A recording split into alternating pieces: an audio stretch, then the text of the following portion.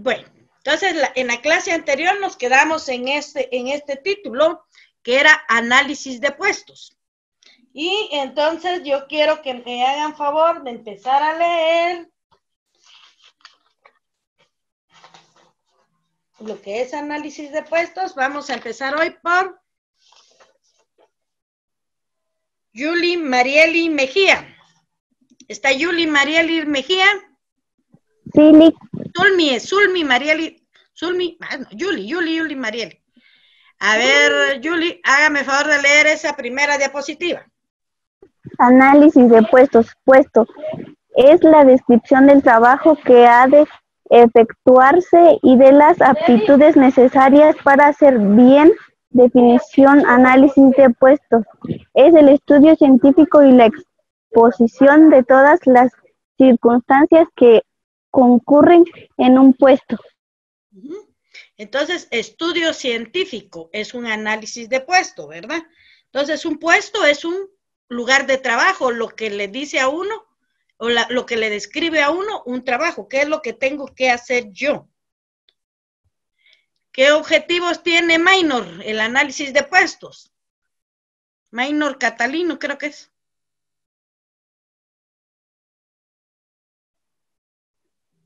Minor.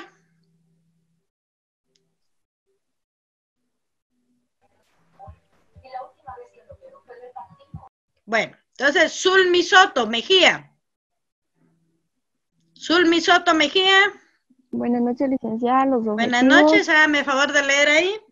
Mejorar los sistemas de trabajo, orientar la distribución y selección del personal, delimitar funciones, elaboración. Deben ser elaborados por una comisión integrados por un asesor jurídico, un representante sindical, un supervisor un jefe de servicio, un miembro del personal que realiza el estudio.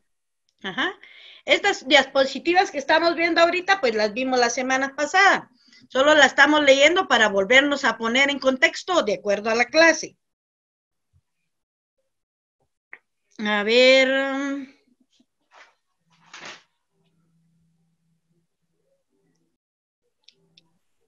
Belser Roselmer Roelmer.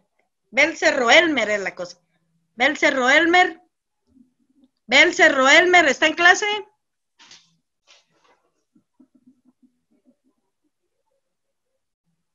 Jordi Eduardo. Jordi Eduardo.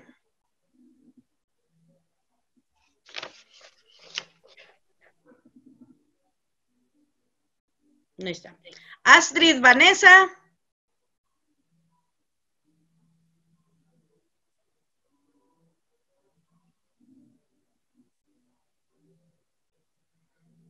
José Mauricio. Buenas noches, licenciada. Buenas noches. Buenas noches, licenciada. ¿Quién habla? Hola, Astrid. A ver, Astrid, léame esta, lo que está leyendo, está ahorita en la diapositiva. Eh, ventajas de análisis de puesto.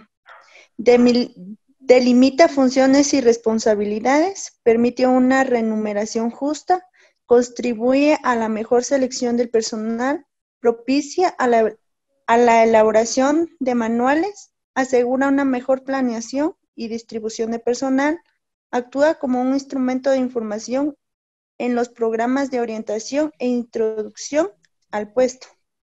Muy bien. A ver, Roelmer. Léame esto, por favor.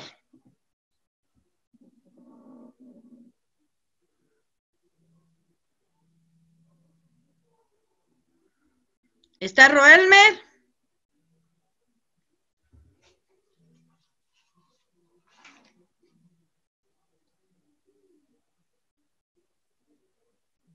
Cristian Osman.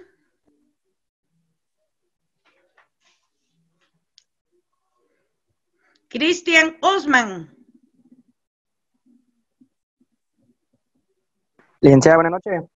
Buenas noches. Este, soy Mauricio Alonso. Hace rato usted me, me mencionaba. Ah, sí, sí, sí. Y yo, ajá, yo iba a hablar, pero se metió la otra compañera. Ah, vaya, hágame el favor de leer esta diapositiva entonces. De acuerdo, dice. Para elaborar un análisis de puestos es necesario aplicar el método científico. Habilidad y capacidad mental en el puesto, esfuerzo físico necesario, responsabilidad y salud mental, condiciones de trabajo y riesgo de trabajo. Ajá. Entonces, esta, esto también lo vimos la semana pasada. Y de acuerdo a esto, tenemos que ver qué persona es la adecuada para cierto puesto. Les decía yo que tuvieran habilidades mentales, a ver a quiénes se les quedan mal los nombres, a qué se le queda más alguna actividad. Este, tiene que tener habilidad y capacidad, quiere decir que debe saber hacer bien los procedimientos, saberse bien los nombres de los medicamentos, o sea, todo lo que es conocimiento. El esfuerzo físico, pues de que no tenga ninguna incapacidad, ¿verdad? Que pueda hacer las cosas, que tiene que ser responsable, tiene que tener salud mental, o sea, un buen carácter, podríamos decir. Eh, y que las condiciones de trabajo también sean adecuadas, que no tenga muchos riesgos, porque en el trabajo hay siempre riesgos. El trabajo de enfermería es uno de los trabajos que más riesgos tiene, pero por lo mismo tenemos que tener conocimientos y habilidades para no tener esos riesgos. Fíjense que yo, no sé si yo creo que a ustedes les contaba de que hay personal nuevo que está entrando ahorita a las salas donde se miran los pacientes de COVID. Los, el personal no tiene ni dos días, ya está contaminado de COVID por no saber, no, por no tener la habilidad para trabajar con estos pacientes, cuando esta es una habilidad que todos los, todos, todos los enfermeros debemos de tener, porque no vamos a trabajar solo con COVID, vamos a trabajar con tuberculosis, vamos a trabajar con otras enfermedades que se transmiten fácilmente, entonces tenemos que tener el cuidado de cómo utilizar nuestras técnicas para no infectarnos. Entonces, para hacer el análisis de puestos se necesita este, evaluar a las personas que van a entrar a, optar un trabajo y, ver qué habilidades tienen, qué conocimientos tienen. Y ya les digo, si tienen alguna mm, debilidad, tenemos que saber en qué lugar hay que ponerlo para evitarle un riesgo. Dice, eh, está Berenice, Berenice Zulmi. Sí, licenciada. Hazme favor de leer esa flechita que aparece ahí. Descripción de puestos. Es el documento en el que se consigna funciones, relaciones, jerarquías, requisitos para el puesto. Yo soy la que había leído anteriormente, solo que no tenía mi primer nombre. Ah, bueno. Bueno, entonces, um, la descripción de puestos dice que ahí se va a ver qué funciones tiene uno con quién se va a relacionar, qué jerarquía, o sea, quién va a ser jefe de uno y uno qué jefe de quién va a ser. Y eh, dice qué requisitos quiere el puesto. Ya dijimos que requisito es tener no solo capacidad, no que habilidad para hacer las cosas. Ahora, ¿quién me lee esto, por favor? Julie. Ya no, ya Julie ya leyó, ¿va? Este. Dulce Azucena. Dulce Azucena. Buenas noches, licenciada. Noches. Eh, objetivos y aspectos para describir un puesto. Objetivos. Delimitar funciones, orientar al personal, facilitar la supervisión, apoyar la evaluación de puestos, mejorar la administración de personal aspectos, título del puesto, ubicación, especificación de funciones y actividades, jerarquías del puesto, requisitos para ocupar el puesto, habilidades y destrezas necesarias, capacidad física apropiada para el puesto, capacidad mental, responsabilidad, condiciones de trabajo. Ajá. Entonces, los objetivos y aspectos para describir un puesto son estos, ¿verdad? Va a decir qué funciones va a tener usted. Por ejemplo, en el caso de una enfermera jefe de servicio, entre sus funciones está ser líder del grupo. Otra función es ver que su personal esté completamente integrado. Otra función es ver que eh, su servicio esté totalmente equipado. ¿Qué aspectos va a obtener esta enfermera? Título del puesto. Ya dijimos que el título del puesto es para una enfermera profesional. Y una enfermera profesional va a estar en un puesto que dijimos que se llama paramédico 3 o paramédico 4, dependiendo de la ubicación donde va a estar el personal, que va a ser como jefe de servicio o como jefe con especialización. Esto lo vamos a ir viendo más adelante porque vamos a ver un ejemplo de cómo describir un puesto. El ejemplo de la descripción de un puesto en enfermería. En primer lugar, vamos a tener los datos generales. Nombre del puesto, que ya dijimos, paramédico 3. Dependencia, va a ser Hospital Nacional de San Marco. Horario, podemos poner cualquier horario, ¿va? Porque ahí hay horarios de mañana, tarde y noche. En este caso vamos a trabajar sobre la enfermera instrumentista, que es la que trabaja en el área de sala de operaciones. Dice que la enfermera instrumentista va a estar en un hospital. Su trabajo va a ser de 7 a 15 horas, o 7 de la mañana a 3 de la tarde. Descripción general. A ver, ah, Mónica Lucía. Mónica Lucía. Buenas noches, licenciada. Buenas noches, hágame favor de leer la descripción general. Eh, claro que sí. Dice, la enfermera instrumentista es el eje principal del área quirúrgica. Es la persona encargada de dirigir, distribuir y controlar los recursos humanos y materiales dentro de un quirófano. El buen trabajo, el adecuado trato al personal y la precisión en las indicaciones que deben seguirse en una intervención quirúrgica. O sea, esto es la descripción general de alguien que va a estar en el área de en la sala de operaciones, pero como enfermera instrumentista. Ustedes saben que en el área de sala de operaciones hay enfermera jefe de servicio, hay enfermera instrumentista, hay enfermera anestesióloga, o sea, hay especialidades. Pero esto es solo para la enfermera instrumentista, que eso es lo que tiene que tener entre sus características. A ver. Um,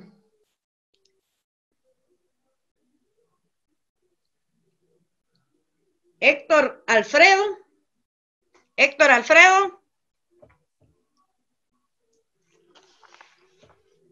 Presente, Lic. Dame favor de leer esto. Descripción específica. La enfermera instrumentista realizará las siguientes funciones. Con un día de anticipación debe enterarse de la programación de intervenciones quirúrgicas en las que participará a fin de preparar de modo oportuno el instrumental quirúrgico necesario. Presentarse en el quirófano con puntualidad y el uniforme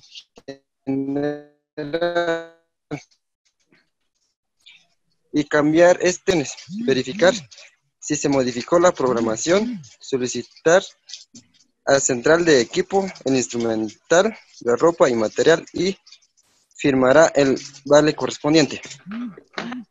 Entonces, entre la descripción de las funciones de la instrumentista, como estamos viendo un ejemplo, así van a hacer, así van a encontrar ustedes un manual de qué es lo que tiene que hacer cada persona en su puesto.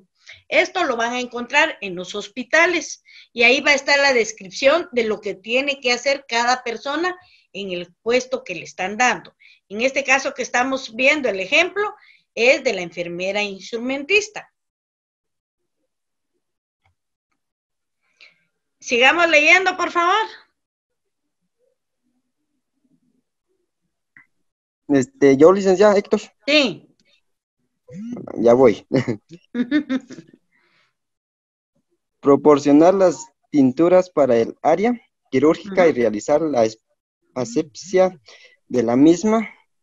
Proporcionar los campos campos estériles, perdón, para vestir al paciente, mantener las condiciones de asepsia durante la operación, durante la operación mantener el es perdón, ordenado y limpio la operación, hacer el recuento de material antes de cerrar la cavidad y previo al cierre de la piel, entregar al enfermero circulante las muestras de patología, al terminar la operación cubrir la herida operatoria, retirar los campos de paciente y verificar que no se encuentra instrumental en ellos. Vale. Como vimos, la primera parte de las funciones de la enfermera era ver que todo, todo el instrumental, todo el equipo estuviera, ¿va? Aquí decía que tenía que eh, tener el listado de pacientes, decía que tenía que tener todo uniforme y todo, todo lo que, ver cuánto equipo iba a necesitar, cuánta ropa iba a necesitar, cuánto material. O sea, esta es la primera parte de las funciones de la enfermera instrumentista, ver todo su recurso, todo el recurso con el que va a trabajar. En el segundo plano está ya mantener las condiciones adecuadas en el ambiente. Dice algo de asepsia. ¿Usted, alguien que me pueda decir qué es asepsia? Es la limpieza del área donde se va a realizar una intervención. Ajá. La asepsia es poner todo limpio, estéril, si es posible, ¿verdad?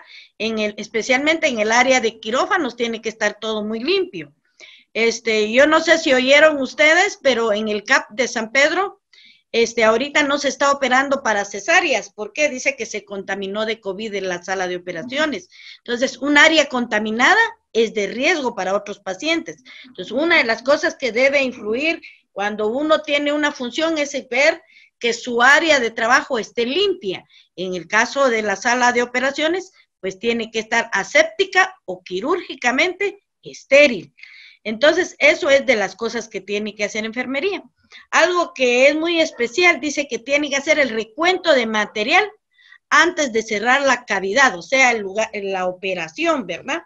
Entonces, eh, la persona, la instrumentista es la responsable de decir si las pinzas están cabales, si las torundas están cabales, si las curaciones están cabales, o sea, si no hay nada dentro del paciente.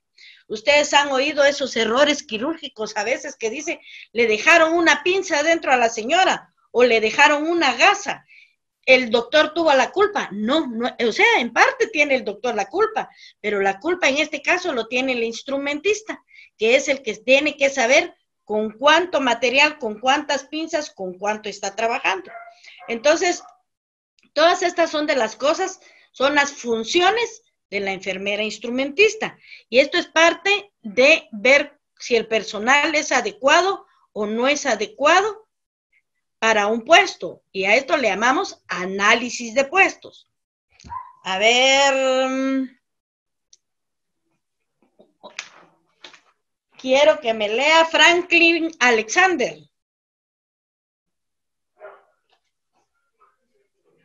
¿Está Franklin Alexander? Contaminar, lavar, secar y empacar el en colaboración con la primera estudiante y entregar la bandeja de tipo. ¿Todo listo? Sí, lea Franklin Alexander. El caso, el caso séptico seguir los lineamientos correspondientes. No le oigo mucho.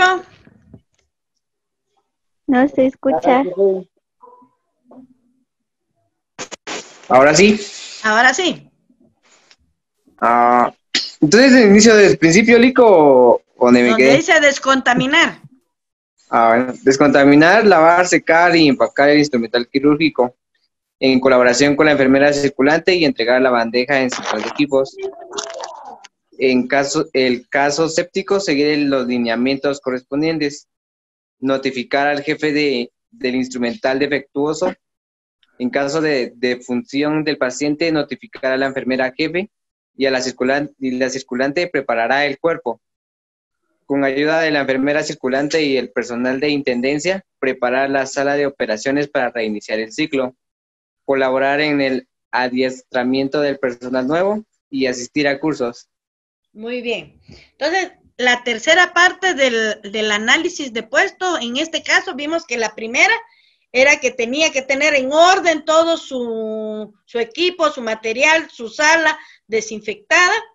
El segundo era que era lo que iba a hacer durante el procedimiento, que tenía que contar sus pinzas y todo antes de cerrar la cavidad, que tenía que todo estar estéril.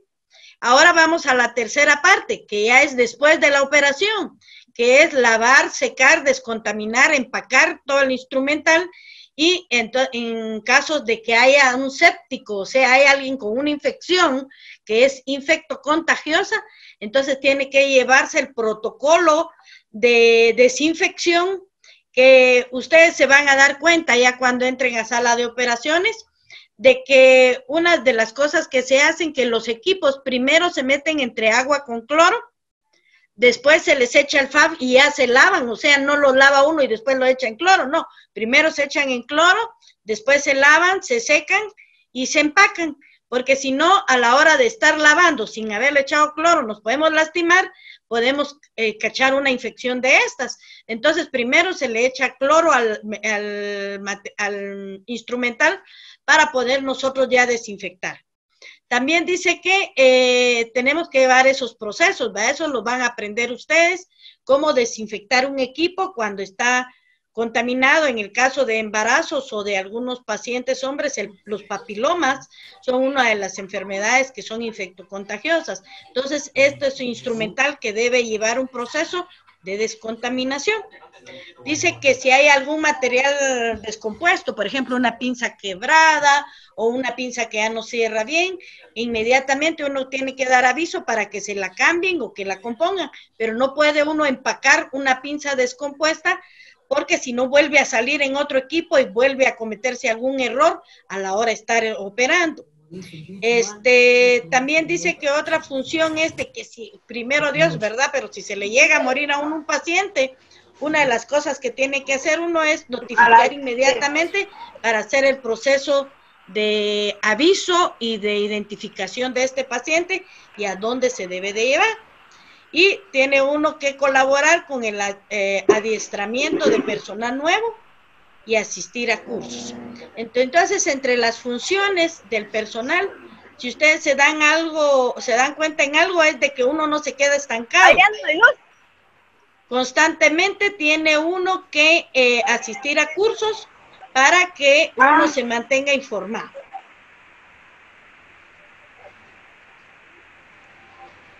¿Qué requisitos debe tener para hacer, para obtener una plaza de estas? A ver, ¿quién me hace favor de leer? A ver, Cecia. Cecia Noemí. ¿Está Cecia?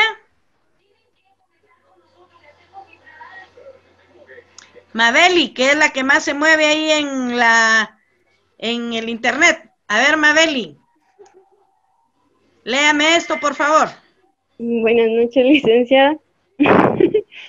eh, Requisitos. Contar con especialidad en enfermería quirúrgica o de instrumentista. Poseer destreza manual. Mostrar capacidad de reacción rápida y actitud positiva en situaciones inesperadas. Ser discreta, ser observadora, trabajar en equipo, tener capacidad de organización, buena salud física. Experiencia.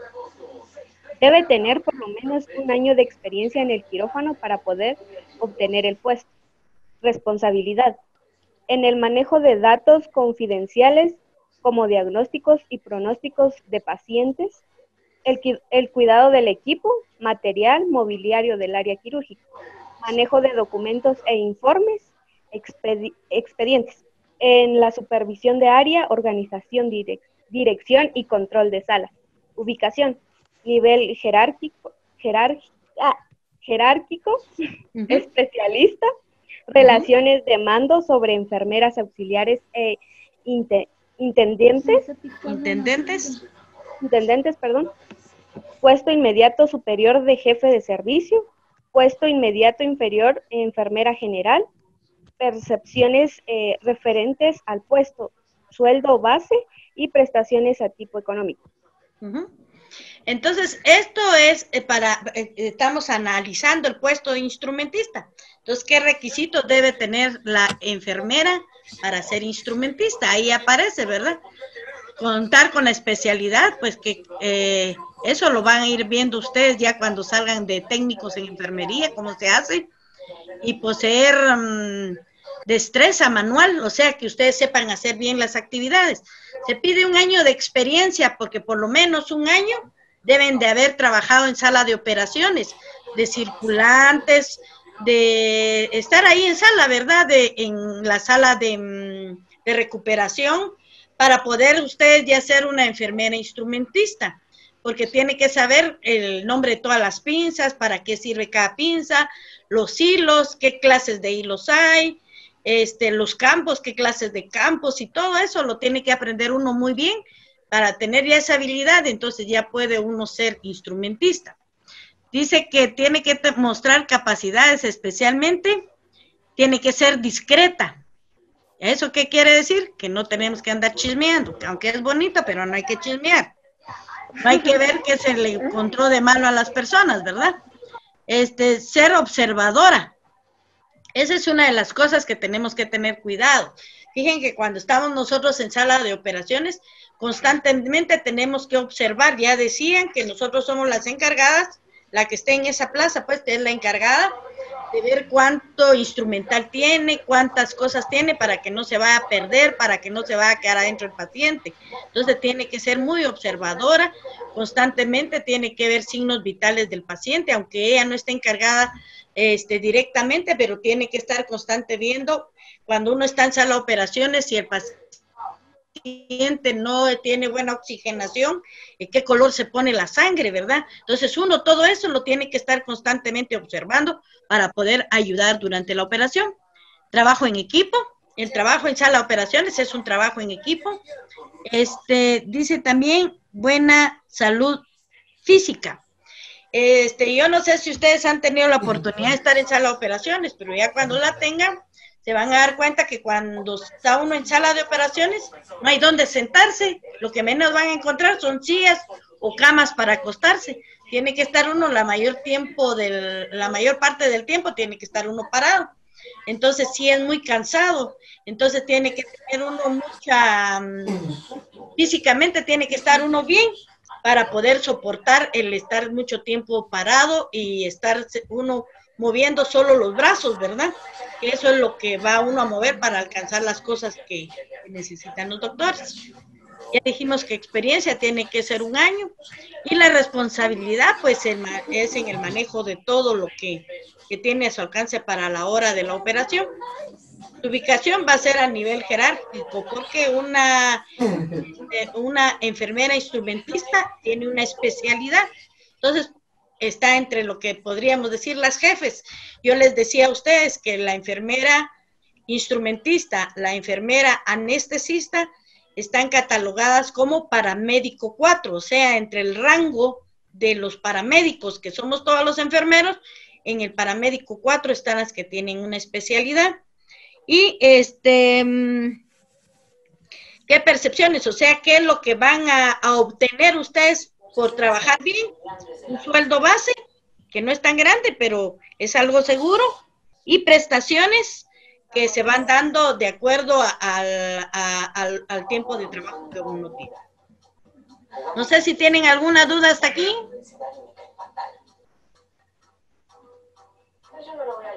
Bueno, entonces vamos ahora a lo que es la dirección.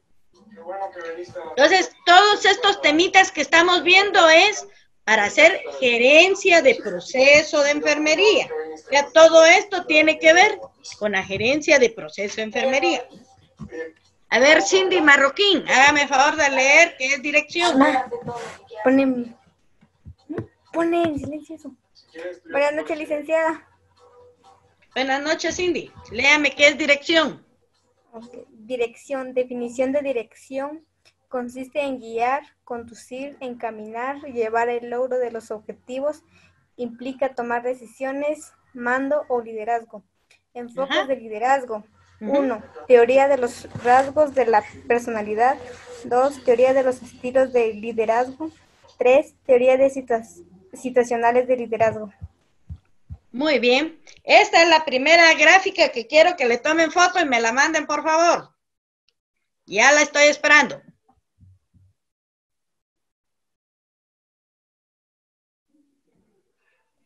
Licenciada, ¿a dónde se la enviamos? Sí, de una vez, de una vez. Yo quiero ver quiénes están en clase. Licenciada. Pero ¿a Licenciada. dónde. Viera que yo sí estoy en clase, pero mi internet está un poco lento, lento, entonces no me ha cambiado la diapositiva y todavía están donde dice requisitos y experiencia. No, dirección tiene que decir. Sí, es que es mi Cuando señal la que no me ha cambiado cuando nada. usted me lo da. Oiga, se lo envía a su WhatsApp. Sí, al WhatsApp. Ya se lo mandó el licenciado. Ya. Muy bien, muy bien, muy bien. Yo Me faltan de algunos todavía, me faltan algunos. Apúrense, Ya, ya, ya. Ya se lo envié. Ya se lo mandé. Muy bien, muy bien, muy bien. Ya, ya. Ya, Delen, ya, delen, ya. delen, delen. Y aquí Ya, voy a bien, contar bien, cuántos van en clase. Sí.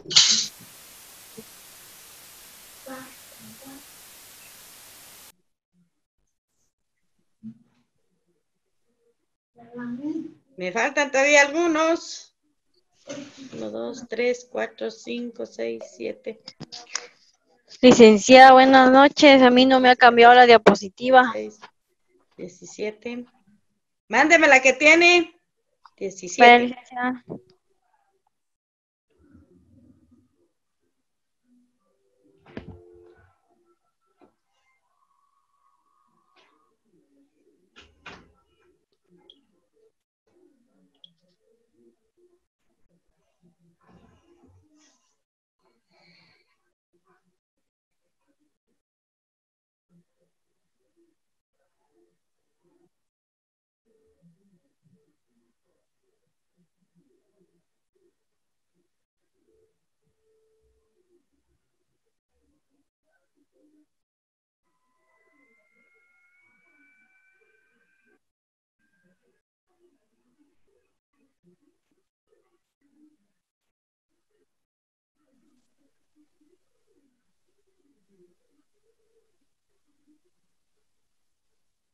Diecisiete hay todavía que no llega nada.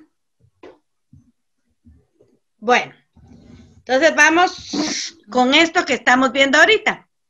Ya les decía yo que la gerencia de procesos es eh, lo que estamos viendo desde, se dieron cuenta que estas diapositivas empezamos con lo que era el proceso gerencial de enfermería.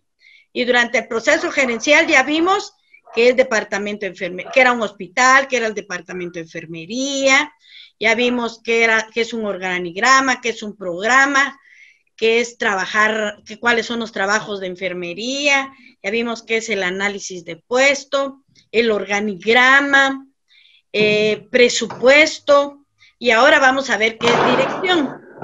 Dirección dice que consiste en guiar, conducir, encaminar, llevar al logro de los objetivos, implica tomar decisiones, mando o liderazgo. Entonces, dirección y liderazgo es parecido. Por lo mismo, vamos a ver lo que son los enfoques del liderazgo.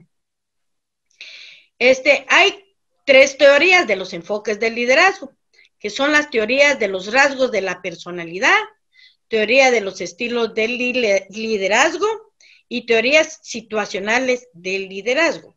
Algunas de estas cosas ustedes ya las han visto, porque algunos ya me mandaron su tarea de lo que era de liderazgo. Entonces van a ver algunas cosas ahí que ya han visto, pero que todavía vamos a repetir en la próxima clase. Teoría de la personalidad, teoría de los rasgos de la personalidad. Fundamenta que un líder es la persona que presenta, entre otras, las siguientes características. O sea, las características de un líder general son energía, autoconfianza, agresividad, entusiasmo, cooperación, iniciativa y creatividad. O sea, esos son los componentes comunes, podríamos decir, lo común de rasgos de una, de una persona para ser líder. Eso es lo que dice la teoría de los rasgos de la personalidad. Que esos son las características. Energía, autoconfianza, agresividad, entusiasmo, cooperación, iniciativa y creatividad. Para mí, entre lo más importante que ustedes deben de tener es la iniciativa, O sea, no esperen a que les digan, hagan algo, ustedes lo tienen que hacer con anticipación. Y así es como se gana uno a sus jefes. Así es como hace uno bien buenos trabajos. Entonces, después dice que esta teoría ha perdido credibilidad por su argumento, pero para manejar relaciones humanas es necesario de liderazgo y esta es característico que no es, es una característica que no es común. O sea, solo está diciendo que es autocuidado, energía, pero no dice que sea líder, no dice, solo dice que coopere, o sea, ya revisamos aquí, que dice energía, autoconfianza, agresividad, entusiasmo, cooperación, iniciativa y creatividad. En ningún momento dice liderazgo. Entonces, por eso es una teoría que ya no es muy común, porque alguien que quiera sobresalir, que quiera tener un rango especial de líder, es el, aquel que tiene que tener liderazgo. Y este, el liderazgo es una característica que no es muy común en todos los seres humanos, dice. Pero por otra parte, se requiere personas que tengan influencia sobre determinados grupos. Por lo tanto, el administrador debe, el administrador debe elegir al personal adecuado para el desempeño de sus funciones directivas. O sea, para el desempeño de las funciones directivas, tiene que ser una persona líder. Y por eso es que vamos a ver las clases de, liderazgo más adelante. Pero entre las cosas que nosotros tenemos como enfermeros, que nos da la carrera, que la, la profesión nos da, es que nosotros somos líderes. Entonces, el personal auxiliar de enfermería no va a venir a decirle a usted qué es lo que tiene que hacer. Usted es el que tiene que saber qué, decirle al personal. Y por lo mismo, por eso tiene que estar capacitado tiene que estar bien documentado, bien, este, con muchos conocimientos científicos para poder dirigir a una persona.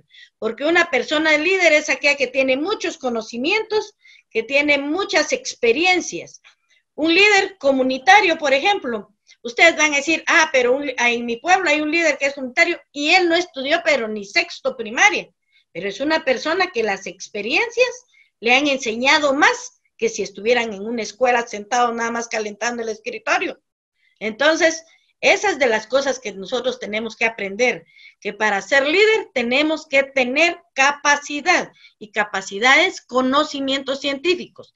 Y entonces, de acuerdo a nuestros conocimientos científicos, nos van a poder poner en un puesto que sea el adecuado. Teoría de los estilos de liderazgo. Esto me imagino yo que algunos ya lo encontraron en su tarea que hicieron. A ver, Célica Sandoval. Célica, ¿está eh, conectada? buenas noches. Buenas noches, hágame el favor de leer el estilo autocrático y me cuenta usted con sus palabras qué entiende de esto. El autocrático es el líder el quien dicta órdenes, impone su criterio y decide qué se hace y cuándo. Se logra eficiencia mecánica. Bueno, yo entiendo de que eh, este tipo de liderazgo no anda pidiendo opiniones de los demás. Simplemente él dice qué es lo que se va a realizar y así se tiene que hacer. Dice que es eh, eficiencia mecánica, ¿va? O sea, que todo el personal o todas las personas esperen a que les manden, a que les digan qué es lo que tienen que hacer. Este estilo autocrático no es muy bueno porque entonces las, las personas no tienen iniciativa, no hacen nada si no se les dice. Y esto es feo, pues, porque a veces uno no tiene tiempo de estarle diciendo constantemente a la gente qué es lo que tienen que hacer. Entonces, el estilo autocrático, este, en ciertas formas, eh, ayuda, pero no tenemos que solo utilizar estilo autocrático para poder mandar a las demás personas. Ya dijimos en una clase anterior que mandar no es tratar mal. Mandar es decirle a la gente que haga algo que yo también sé hacer y que puedo dirigir si en caso tienen error. A ver, otro de Malacatán. Suseli Ramírez.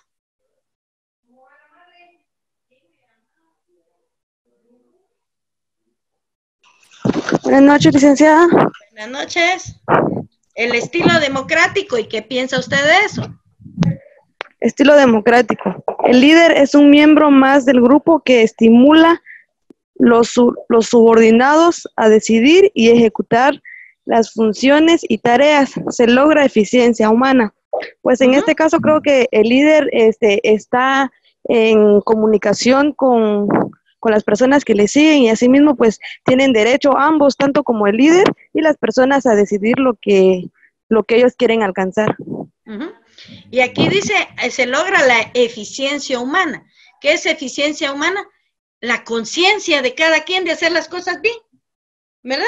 Eficiencia eh, humana quiere decir que yo tengo conciencia de hacer las cosas bien. A ver, ahora. Astrid Vanessa. Astrid Vanessa. No está ella. No está Astrid Vanessa. Estará Anderson. Sí, licenciada. Anderson Mikeri.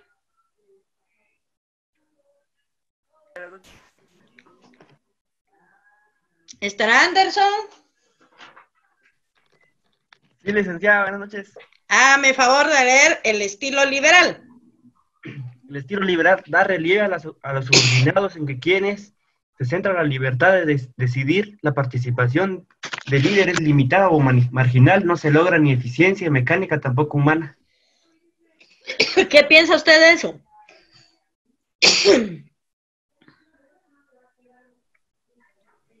Que tal vez el líder no tiene una buena participación, o sea, no, no cumple con el papel de ser este líder. Como Deja que los demás mandar. hagan lo que quieran. Ajá, como que Dejan la mandar gente haga lo que quiera. Y por eso no hay eficiencia ni mecánica ni eficiencia humana. O sea, ni manda ni hace ni la gente hace nada, ¿va? Entonces esos tres estilos ya se dieron cuenta ustedes que son diferentes. Pero ¿qué es lo que tiene que hacer un buen líder?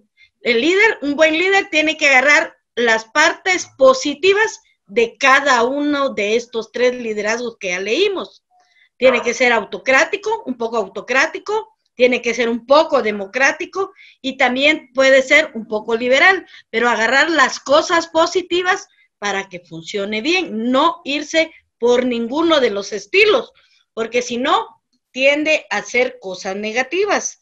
Entonces, todos los um, estilos de liderazgo tienen algo bueno en común, pero también tienen cosas malas. Entonces, nosotros para ser buenos líderes tenemos que agarrar todas las cosas positivas que tienen los estilos de liderazgo. Vamos a seguir. Está la teoría de la motivación, que es otra parte del liderazgo. Se recuerdan que vamos viendo tres formas de ser líderes. A ver, mm, Jordi Eduardo.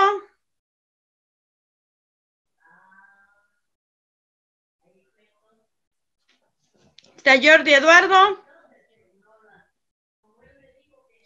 Licenciada Silvia, buenas noches. Buenas noches. Este, viera que Jordi me andaba diciendo que como que su señal le anda fallando, entonces no, igual cuando lo mencionó hace ratos no, no pudo contestar porque no estaba, lo saca la, la- Pero la- ojalá que mande su mensaje, porque si no ya lo tengo tachado ya aquí por dos veces. Sí. A ver, Karen Marisol. Sí, licenciada, muy buenas noches. Karen Marisol. Licenciada, buenas noches. Buenas noches. A ver, Karen, léame esa diapositiva. Teoría de la motivación humana. Para dirigir se requiere contar con conocimiento acerca del comportamiento humano, conociendo a las personas que motivan a desempeñar correctamente y correctamente su trabajo. Su principal exponente fueron Maslow y Erving.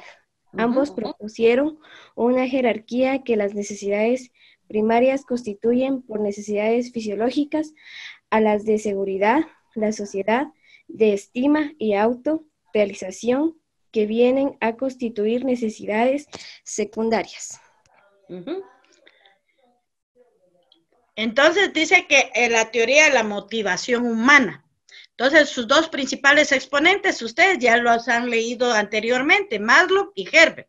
Esto se los enseñan a uno cuando uno está estudiando en diversificado, porque la teoría de las necesidades es una de las teorías que le enseñan a uno en psicología y este uno mira eso, pero dice que ellos dicen que para poder dirigir a las demás personas para que sean este, trabajen correctamente, se desempeñen correctamente o incorrectamente, dice que las personas deben de estar motivados para que ellos puedan trabajar.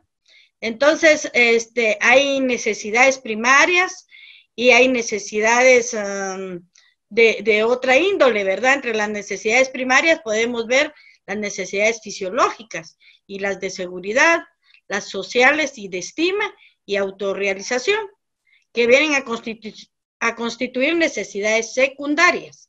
O sea, las de autorrealización son necesidades secundarias. Entonces, Maslow tiene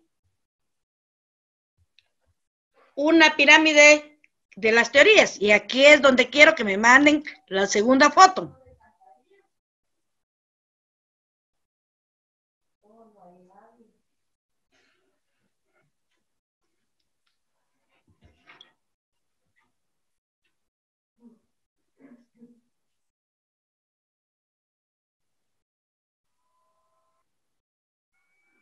Y a mí no se me ha cambiado la diapositiva. Ahorita va a cambiar. Y si no, mándeme de la anterior, pero mándeme, porque yo quiero ver dónde está. Lick. ¿Qué? Ya se lo mandé, Lick.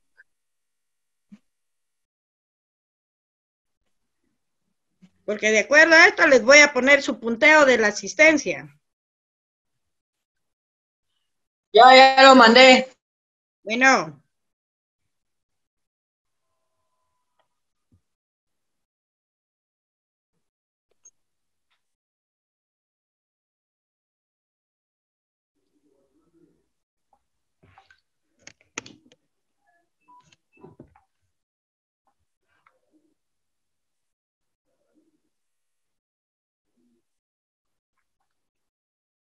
Bueno, entonces la pirámide de Maslow dice que este, tenemos varias, um, varias necesidades. Entre las fisiológicas, ¿cuáles estarán? A ver, que alguien me ayude. Laura, Está- Ochoa. Alimentación. A ver, Laura, dígame, ¿qué necesidades- ¿cuáles son las necesidades fisiológicas? este, bañarse y cambiar. Respirar. Ah, es- Alimentación. ¿Cuáles?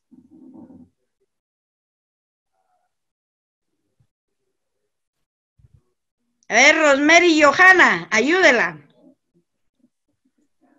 Eh, respirar. Este, la alimentación. El vestuario. ¿El qué? El vestuario. Fisiológicas. Ah, este. Fisiológicas. Ir al baño. Ajá. Defecar, orinar, respirar. ¿Cuál otra? Alimentación. La alimentación. Comer.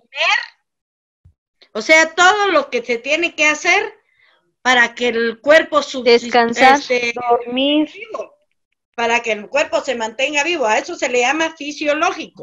Todo lo que tiene que darle vida al cuerpo, respirar, eh, sudar, defecar, orinar, alimentarse, eso es fisiológico. A ver, dígame, Jacqueline Lisbeth, las necesidades de seguridad.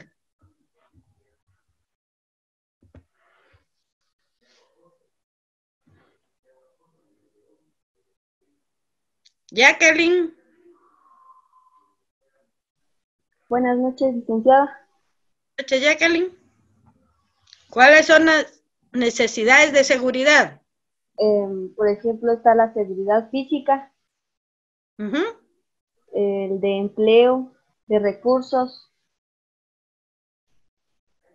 y, por ejemplo, la seguridad moral, la seguridad de la familia, la seguridad de salud. Todo solo- lo que le brinda, todo lo que le brinda un autocuidado, un cuidado a la persona, ¿verdad? Muy bien. A ver, ¿quién otro? Edna Gabriela. Edna Gabriela. Sí, licenciada, buenas noches. A ver, dígame cuáles son las necesidades sociales. Este, las amistades, tal vez. Ajá. El tener novio, el tener amigos, el tener una familia, el tener grupos de amistad, ¿verdad? Todos los sociales, relaciones, una religión. A eso referi- nos referimos como una necesidad social. A ver. mm, Tiani. Tiani Verónica. ¿Está Tiani?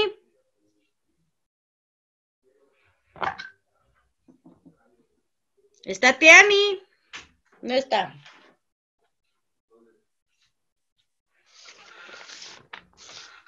Claudia, fue a Yes- mimir. Claudia Yesenia.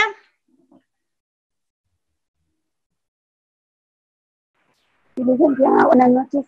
Buenas noches, Claudia. ¿Sí? Ah, va. Dígame cuáles son las necesidades psicológicas. Pues yo pienso que sería también este que cuando no que no maltraten a las personas para que ellas puedan desarrollarse. Ajá. Eh, también sería eh, desarrollar pensamientos por sí mismos. Más o menos. mm, confianza, Sí, respeto, sí. mm, amor, pienso también. Va más o Mm. menos también.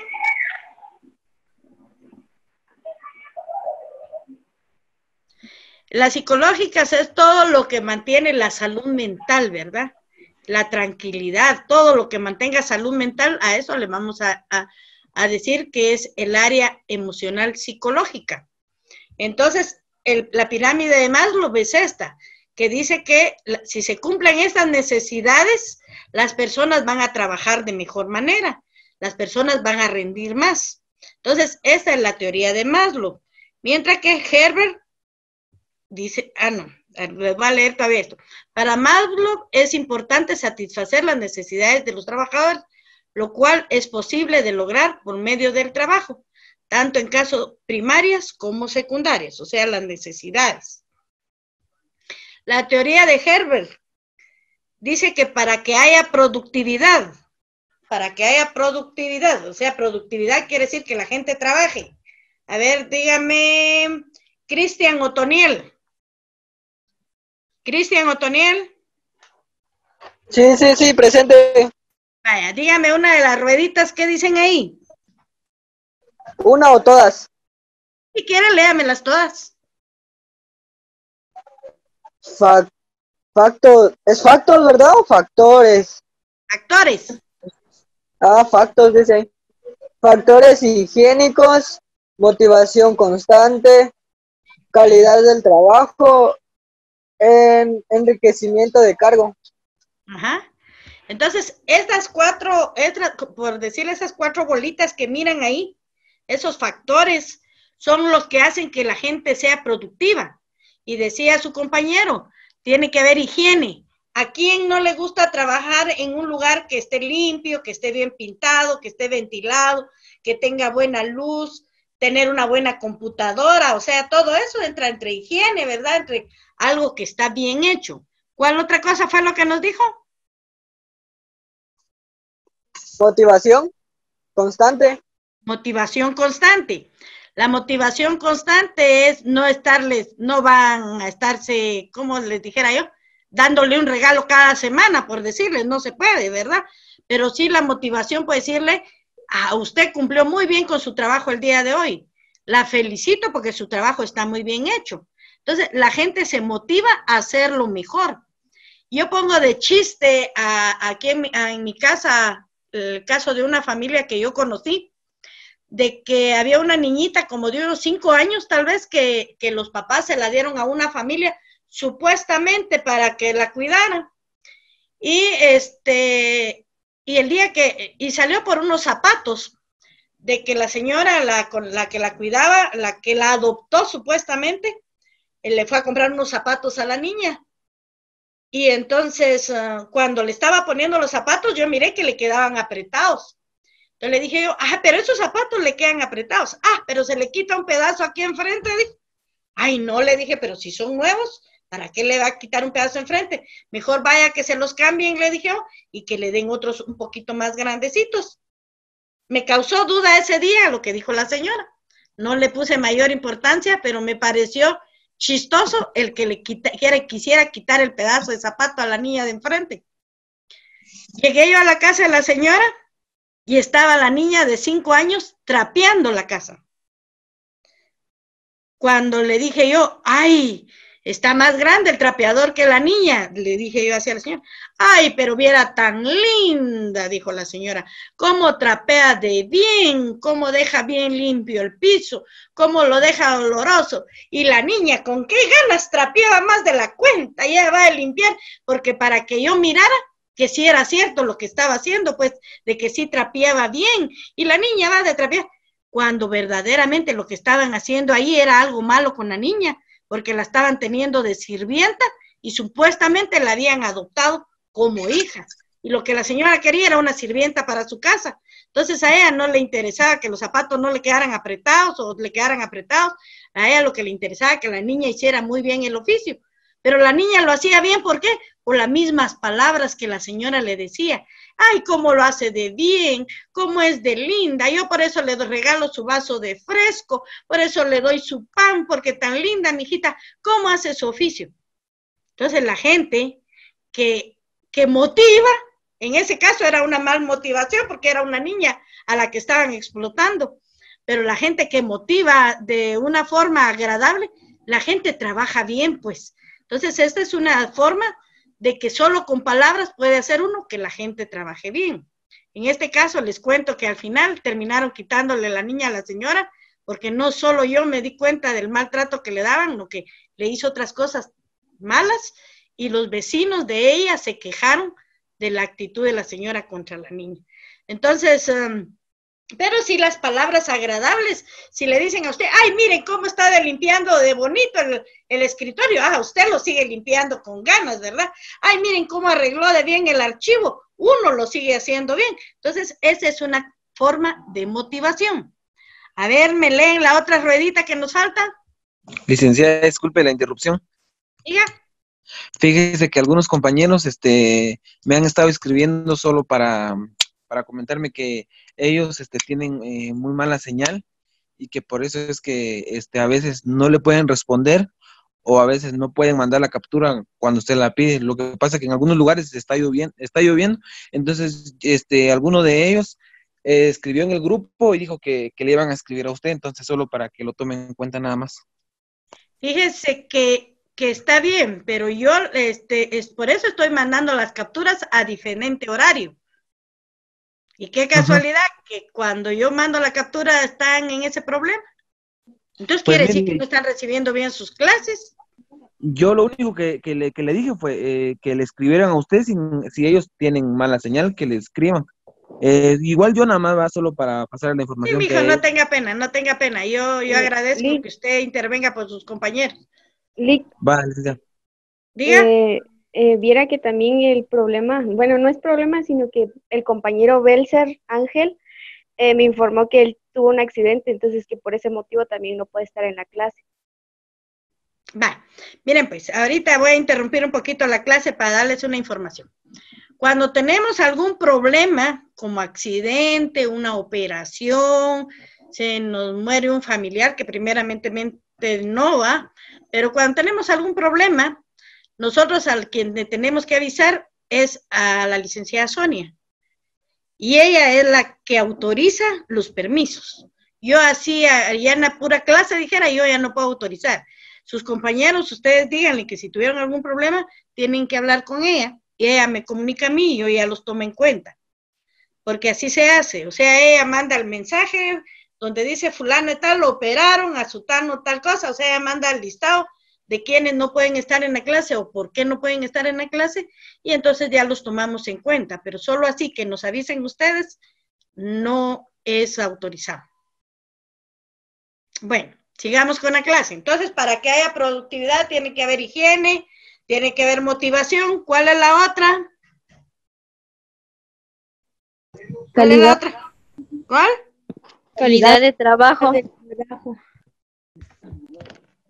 Solo que yo como no muy miro, no miro esas letritas, usted mejor va a ver mi teléfono, está más grande. Calidad de trabajo. Calidad de trabajo. Calidad de trabajo. Vamos a ver aquí. Bueno.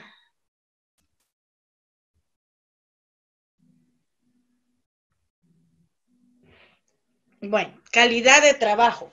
Entonces, entre lo que es calidad de trabajo, aparece de que tenemos que, em, según Herbert, dice que tenemos que tener, eh, ¿cómo les dijera yo? Este, aparte que tenemos el ambiente, la motivación, tenemos calidad de trabajo, que quiere decir un trabajo que nos satisfaga, un trabajo que el que tengamos conocimientos. O sea, si yo no tengo conocimiento de determinado trabajo, yo no voy a poder hacerlo, aunque el ambiente y todo lo demás esté bien. Entonces, la calidad de trabajo va a depender de mí, de que yo eh, sepa con conocimiento hacer las cosas. Y la última, perdón. Enriquecimiento de, de cargo es. Enriquecimiento del trabajo. En los cursos constantes que uno debe tener, ¿verdad? El que no quedarse uno estancado en, una, en algo, no que el estar constantemente actualizándonos. Fíjense que a mí algo que, que, y que yo les quiero contar, que yo me gradué en el año 1987. Me gradué en la escuela de enfermería. Uh.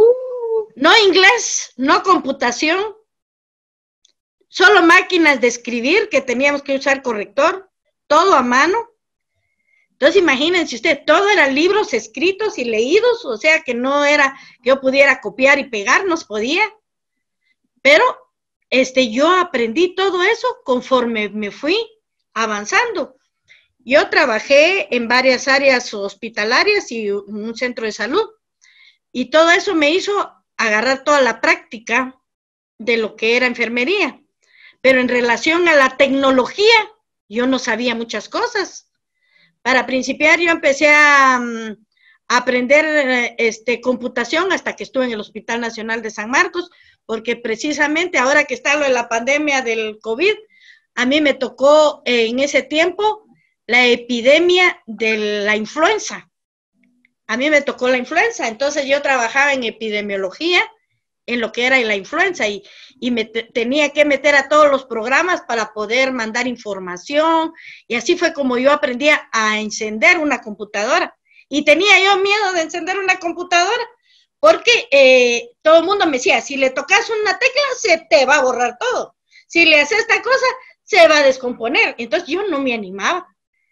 Fíjense que tengo mi diario en el que yo escribo y este, y ahora que lo leo me da risa, ¿va? Porque en, una fecha yo ponía, ya puedo subrayar en la computadora, ya puedo poner en negrita. lo, eso era lo que a mí me emocionaba cuando yo empecé la computación, cosa que para ustedes es algo común ahora, pero para mí no fue común. Eh, yo les quiero contar que mi esposo, él es militar, pero su especialidad era armar y desarmar computadoras.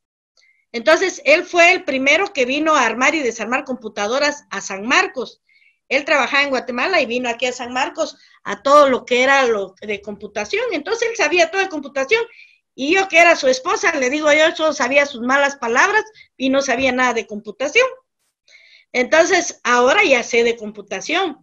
Este, y, así fue como yo me fui formando ya en, en tecnología. Entonces igual pasa, ¿verdad?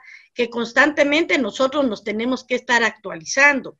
Ustedes ahorita tenemos que ver otras enfermedades, ya les digo, aparecieron enfermedades nuevas para mí. La primera enfermedad nueva y grave para mí fue el SIDA. Es una enfermedad que ya para ustedes posiblemente sea más común, pero para mí fue algo escandaloso. Yo fui de las primeras enfermeras que tuvo un paciente con VIH en el Hospital Roosevelt. La primera mujer que vino a Guatemala con VIH fue paciente mía cuando yo era estudiante. Entonces, imaginen ustedes qué tiempales de los que yo estudié. Entonces, pero yo me he ido actualizando en dengue, en, en la chikungunya, en otras enfermedades que han ido apareciendo ahorita en el COVID. Si ustedes se recuerdan, y posiblemente alguno de ustedes, yo le di la clase del COVID cuando muy empezó la pandemia. Yo no sé si se acuerdan ustedes de mí, pero yo fui de las que fui a recibir todo lo que era la teoría del COVID. Fui la primera en ir a recibir toda la teoría del COVID, cómo se daba, cómo se pegaba, cómo se tenía uno que vestir. cómo- yo creo que ustedes estuvieron en esas clases que yo di a la ligera, porque precisamente fue en las últimas clases que tuvimos presenciales.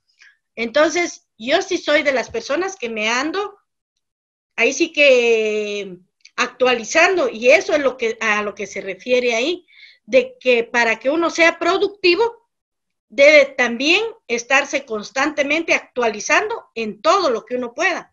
Y eso no quiere decir salud, no solo salud, no, que también en economía, en política, en religión, en todas las cosas que podamos actualizarnos hay que hacerlo. No nos tenemos que quedar estancados, porque enfermería es integral, es todo lo que está alrededor de una persona. Y en relación a eso es que nosotros trabajamos. Entonces, Herbert dice que para que sea una persona productiva, tiene que cumplir con esas cuatro características, que era higiene. ¿Cuál era la otra? Motivación. ¿Cuál era la otra? Calidad de Calidad del trabajo. trabajo. ¿Cuál era la otra? Enriquecimiento de cargo. Enriquecimiento de cargo. Exactamente, esas son las cosas.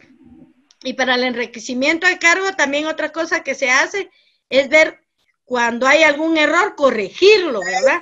Si tenemos un error, corregirlo constantemente. ¿Hay alguien que habla?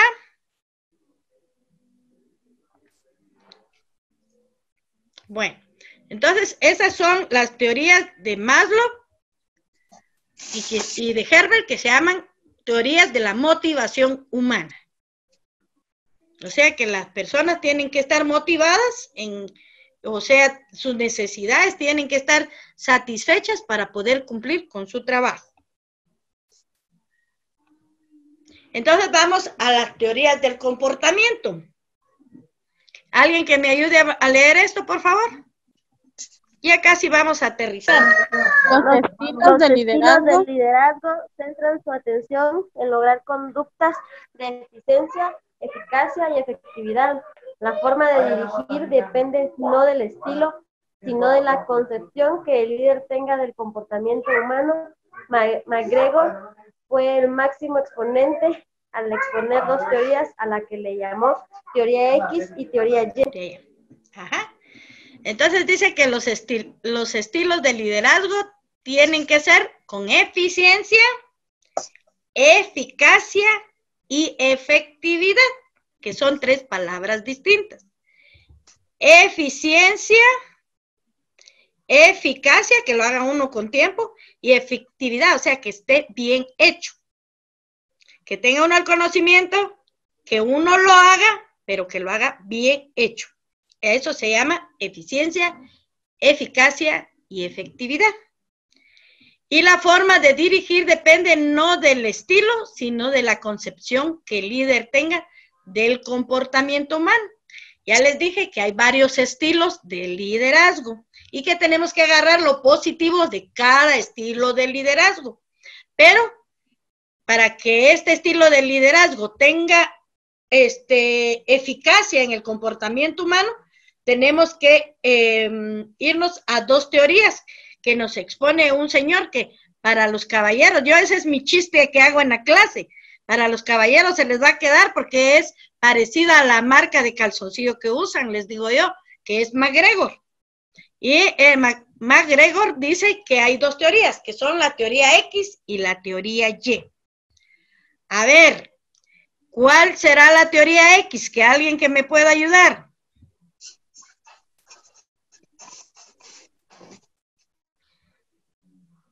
¿Qué significa la letra X?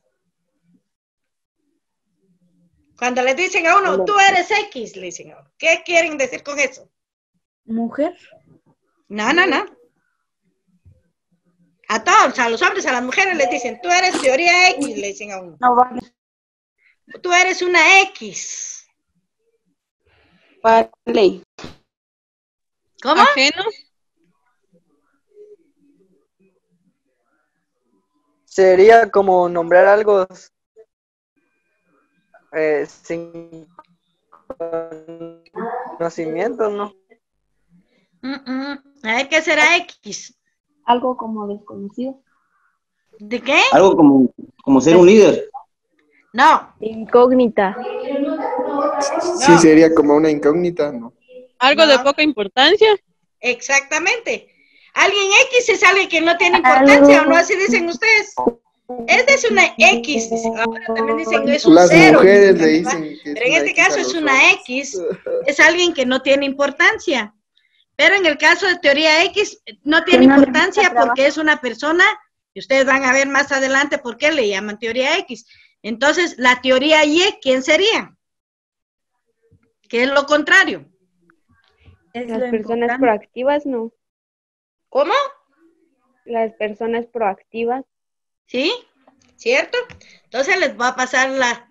Dice que la teoría X indica que el hombre o la persona es perezoso por naturaleza, rehuye las responsabilidades, le gusta ser dirigido, se resiste al cambio, es dependiente y requiere ser controlado. La administración, según esta teoría, es clásica, su organización es lineal y el liderazgo es autocrático. O sea, las personas que tienen, que son de la teoría X, prefieren un líder autocrático, o sea, alguien que los mande, porque si no los mandan, ellos no lo hacen. Entonces, teoría X es la persona que, que no le gusta hacer nada, los huevones, esos son la teoría X. Mientras que la teoría Y se supone al individuo dinámico, sensible, sensible a los cambios, cooperador, deseoso de dirigir, dedicado, con alto grado de iniciativa. El estilo de dirección es democrático, la organización es funcional y la administración es moderna. Entonces, yo quiero que todos los que son de la teoría Y me manden una Y ahorita por WhatsApp. ¿Cómo así? ¿Cómo así? ¿Cómo así? Todos los que son de teoría Y y están en clase ahorita, que me manden una Y en el WhatsApp. Ah, bueno. Y las pues. Ya. Ya estoy recibiendo.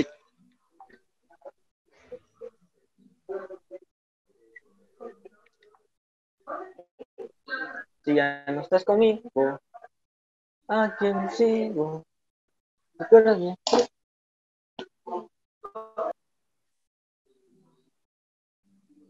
Muy bien, muy bien.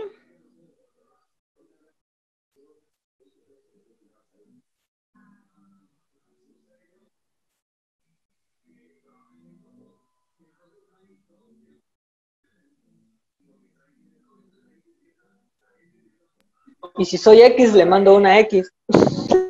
Bueno, también.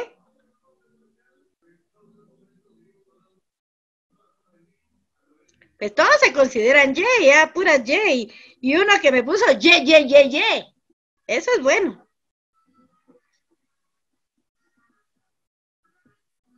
Entremos en ambiente líquida.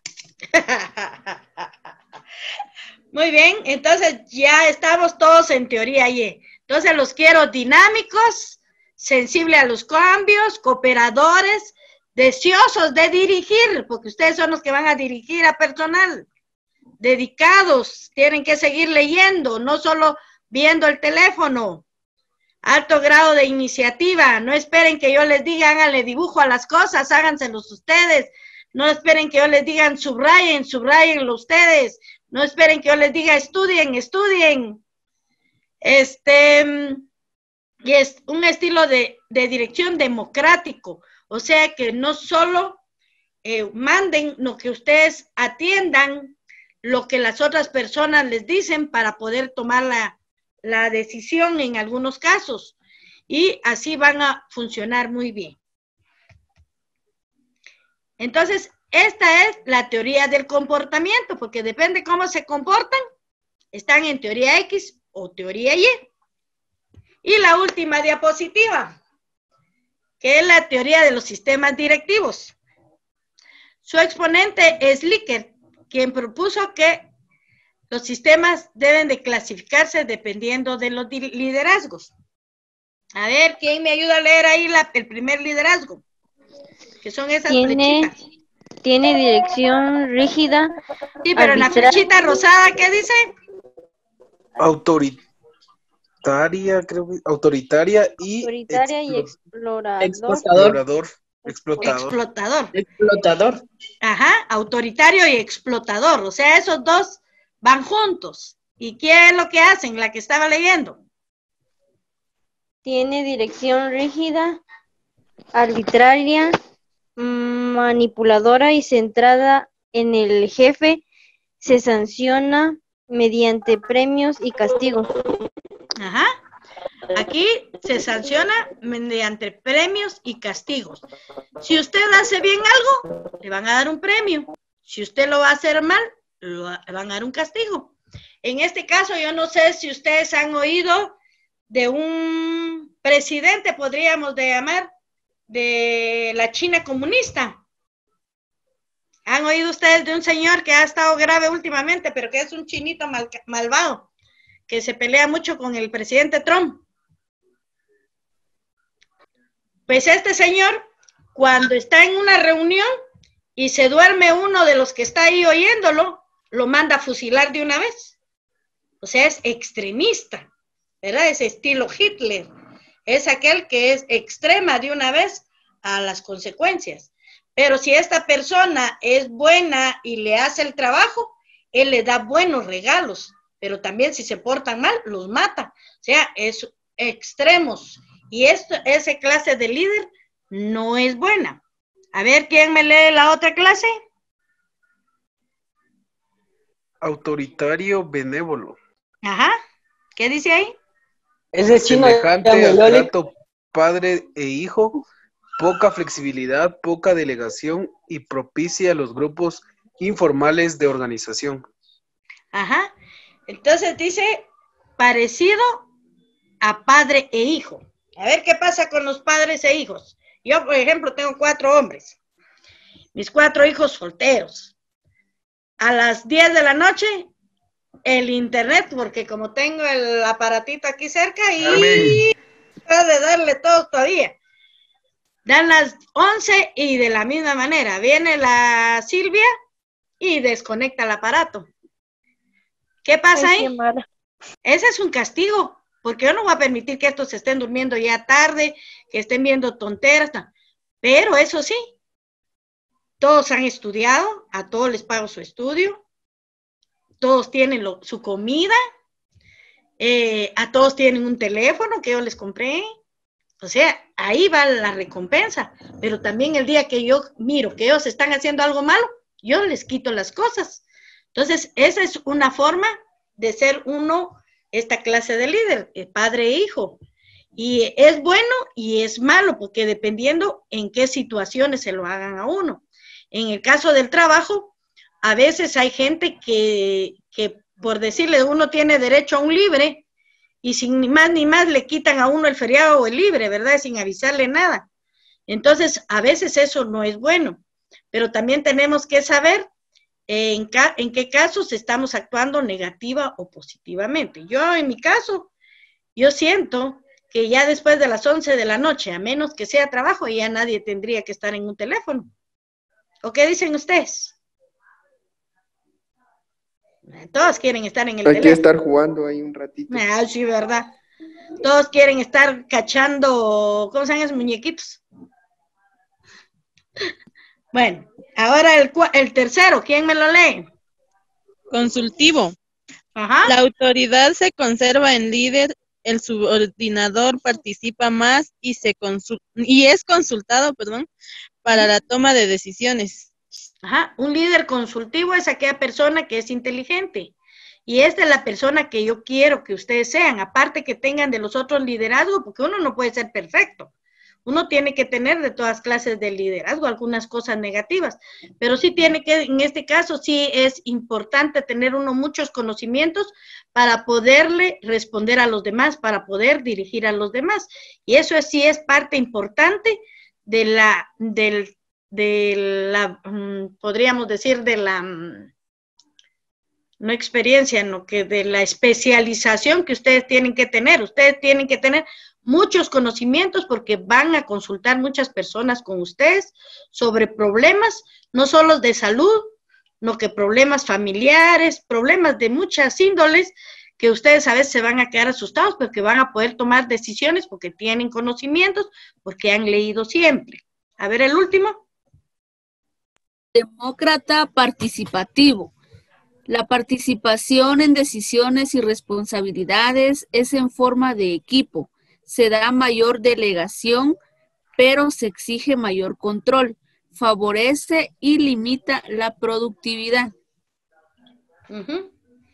Muy bien, entonces estos son los um, cuatro estilos o sistemas directivos, o sea, esta es la forma que dice el Iker que tenemos que dirigir nosotros a, los de- a las demás personas, que tenemos que tener un poco de cada uno de estas uh, clasificaciones de liderazgo para poder dirigir a las demás personas.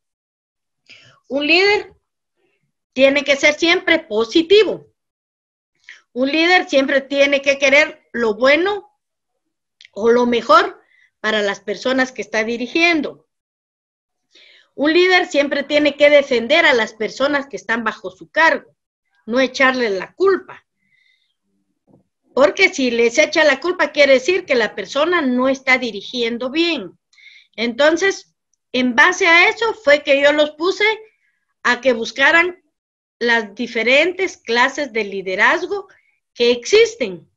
Yo les dije que son 28. Algunos me llamaron que solo consiguieron 12, otros que solo eh, consiguieron 14, pero se van a dar cuenta ustedes que sí hay varias formas de ser uno líder y que cada forma de ser de las personas es una forma de liderazgo, ya sea porque es muy gritón o porque es muy sumiso, pero a veces uno puede ser sumiso pero manipulador y al ser manipulador es uno líder. Entonces, estas son las cuatro, no, ahorita vamos a regresar a la diapositiva. Estos son los enfoques del liderazgo y estas son las teorías de los rasgos de la personalidad, la teoría de los estilos de liderazgo y las teorías de situa- situacionales de liderazgo.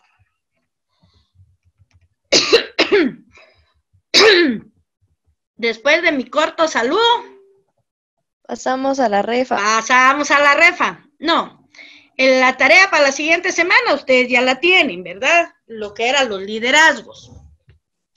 Sobre ¿Será lo que ustedes investigaron, yo mi tarea? sobre lo que ustedes, escúchenme primero, sobre lo que ustedes escribieron, ya algunos ya me escribieron, ¿verdad?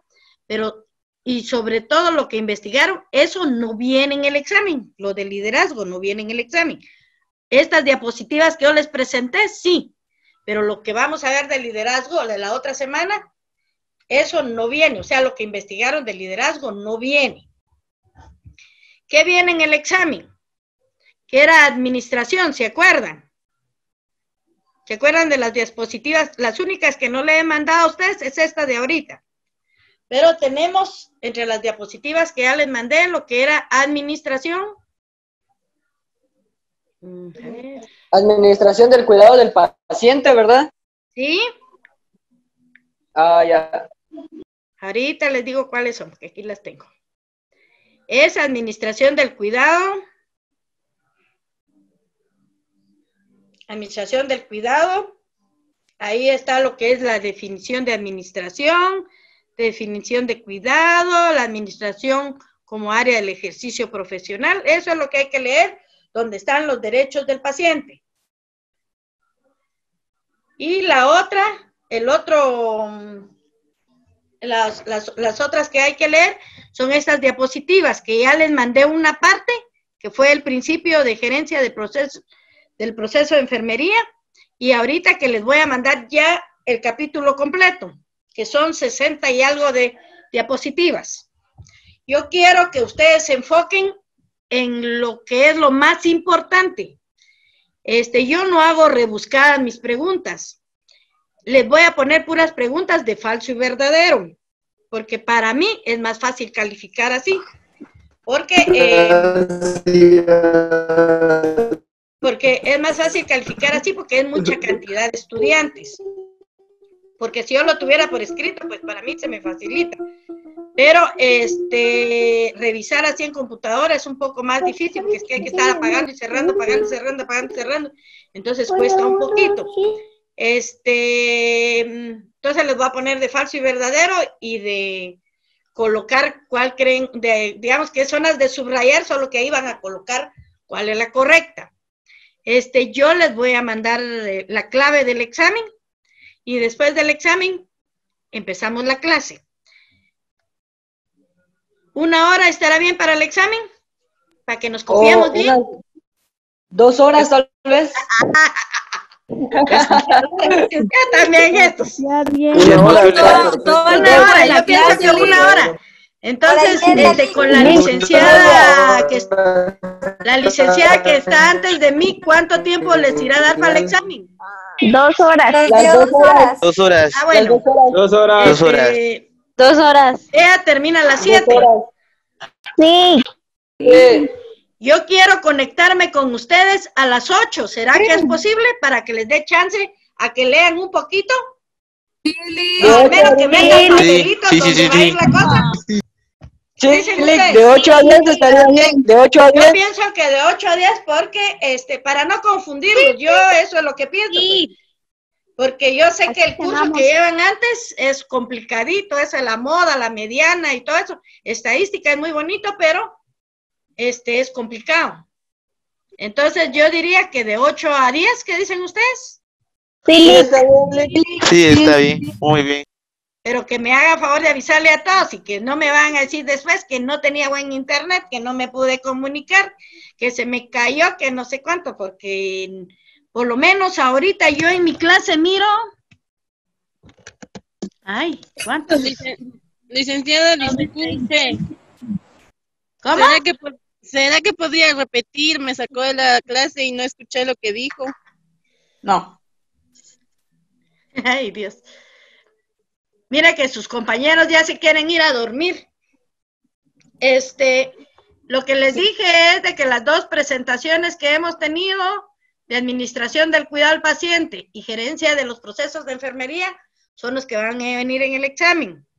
Van a venir eh, preguntas de falso y verdadero y preguntas de eh, poner ahí cuál es la correcta. Este, vamos a dar el examen de 8 a 10 de la noche para que les dé chance a descansar después de la licenciada que está antes que yo. Y tarea no tenemos, porque la tarea fue la que de liderazgo y eso ya tendrían que tenerla, que ya me la tienen que mandar, ya en esta semana.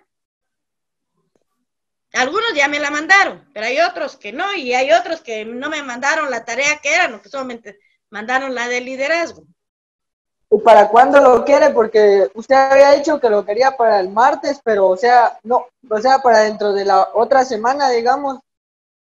Si ustedes tienen tiempo de mandármelo esta semana, mándenmelo.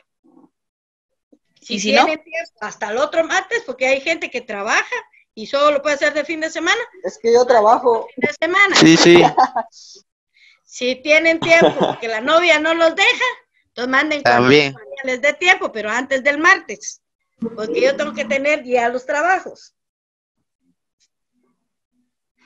Porque esa es parte de la zona. Ustedes saben que tienen derecho a cuántos puntos de zona. 70. 100 les voy a dar. Yo 100 les tengo dado a cada uno. 100 les tengo dado a cada uno. De ustedes depende que yo vaya restando. Bueno, entonces hasta ahí quedamos hoy. Espero que descansen, que hagan sus tareas, que se cuiden mucho, que piensen, como dijera una señora, que el animal del COVID anda por ahí, no dejen que los atrape. Y si los atrapa, cuídense. Y este, traten de cuidarse, traten de cuidarse mucho porque yo sé que se puede. No hay necesidad que estemos en la calle por algo que, que no, que no hay necesidad, pues. Entonces, eh, al menos los que van a trabajar, pues que Dios los guarde. Pero ya terminamos la clase. Gracias, Toda Lick. la semana y espero. Feliz noche, al examen. Gracias, Lick. Gracias, Lick. Feliz noche. Gracias, Lick. Gracias, Lick. La Bueno, mucho. todos los Y, por favor, a dormir ya. A convertirse en X ahorita, perezosos. A mí, mira, a Ah. Feliz noche, Lick. Bendiciones. La queremos mucho, Lick. Noche, Lick. Yo los quiero. Yo también los quiero. Mando la los quiero. Feliz noche. Sí, adiós, adiós. Feliz noche. También. Buenas, Lick.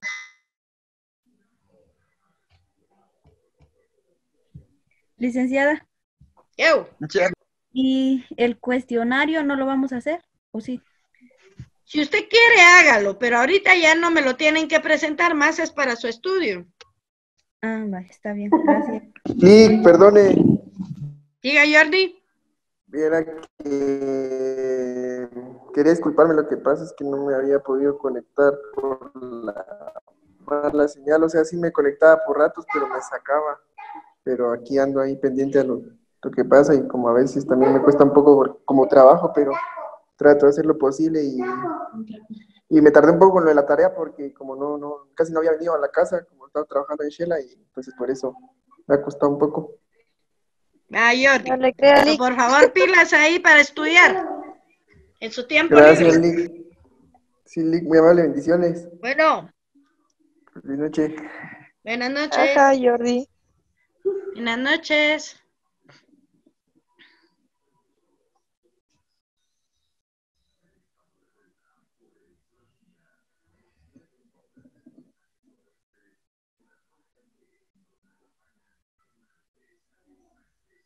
Le hago compañía. Bueno, yo, yo aquí miro quiénes son los que de veras están conectados y los que mira, nada más dejaron su teléfono puesto. Sí, es cierto. Buenas noches, licenciada. Buenas noches. No, mejor la dejo porque tengo que ir a hacer cena. Vaya a hacer cena y ahí me invita a cenar. Yo ni puedo salir, mire, aquí estoy, pero no puedo salir. No puedo salir. Quiero ir, pero no puedo. Va a amanecer, Vivi. Feliz noche, licenciada. Sí, Buenas de plano noches. aquí voy a quedar esperando hasta que la LIC deje de ver a todos. ya encontré. De mí porque si no los atrapo. Vaya, feliz noche, Lick. Buenas noches. ¿Qué manda? Buenas noches.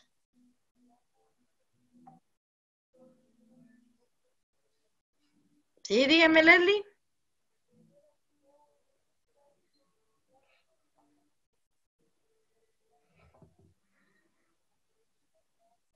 Ay, juela.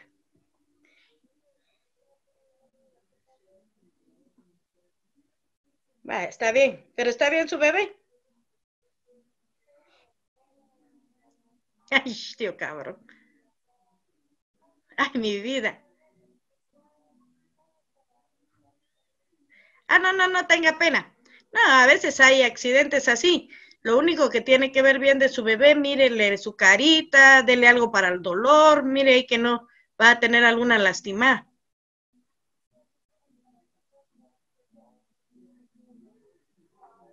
Ah, pobrecito. No, hay casos, como le digo, cuando sean emergencias, ni que uno estuviera loco para no, para no aceptarlas, dijera yo. Yo lo único que digo es de que cuando hay un problema, así como dice, es que lo operaron o tuvo un accidente, por decirle, y ya tiene tiempo, pues no es en el ratito, no se vale que lo avisen ahorita que estamos recibiendo la clase, eso se lo tienen que avisar a Sony. En el caso de usted, pues se acaba de hacer el accidente, no se preocupe, no se preocupe. Vaya pues, vaya pues, cuídese, buenas noches.